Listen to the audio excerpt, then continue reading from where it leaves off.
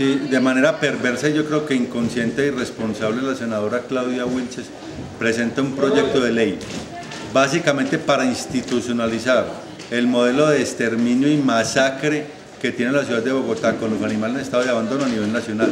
Es decir, crear centros de zoonosis por todo el país, mataderos de perros, capturar los animalitos abandonados, llevarlos allí y asesinarlos.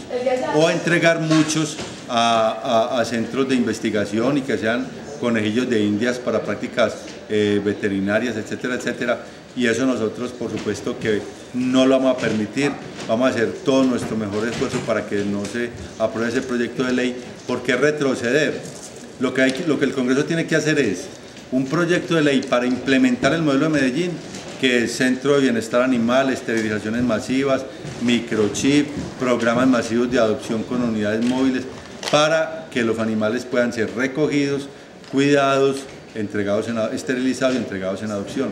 Entonces, eh, vamos a hacer todo el esfuerzo posible para que ese proyecto se hunda y decirle a la senadora, mire, ¿para qué aspiran a corporaciones públicas a llegar a presentar semejantes proyectos perversos de muerte? Cuando nosotros lo que tenemos que defender es la vida. Me parece que es una vergüenza para el país que, hayan, que existan corporados como esta señora.